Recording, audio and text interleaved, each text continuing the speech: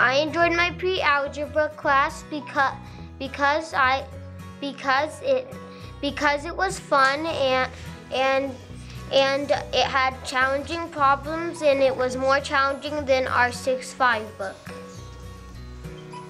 Their goal is to do one grade ahead, so they're doing first grade math in kindergarten, and I see that they've introduced their fractions and graphing.